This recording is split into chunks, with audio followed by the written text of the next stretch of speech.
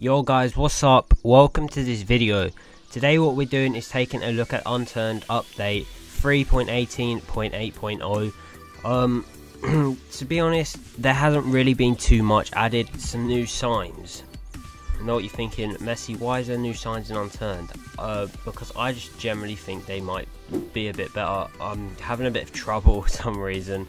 But as you can see, um, hold on, what is happening with my PC? Why are we doing this? So as you can see, we've got this sign here. I'm not too sure what this one is. I think this might be like maple or something. I think this is pine. Yeah, this one is the pine one, I'm pretty sure. So ID for that is 1467. This one is birch, 1468. This one is pine. No, this one is maple, I think. I'm not too sure. But this is 1469. Yes, it says 69. And this one is the metal one, which is 1417.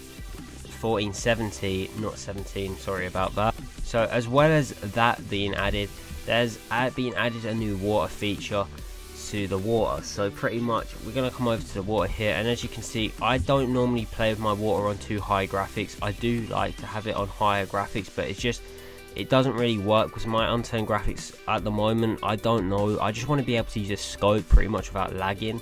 I'm I never really used to have this problem but for some reason it's just started suddenly started to do that ever since like kind of Hawaii come out.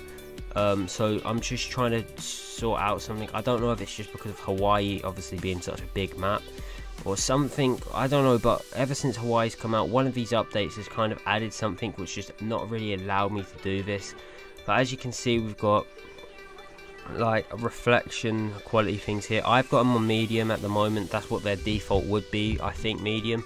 But if you want it to like reflect, like as you can see under there, it's kind of reflecting. Um, yeah, just sort out them. I don't know. I'm not really too sure how to do all that. But if you want a better, like a better look at them, go and watch Boom's video, uh, which is obviously on his channel. My scope quality. What is wrong with that? I just why is it all like that? You know.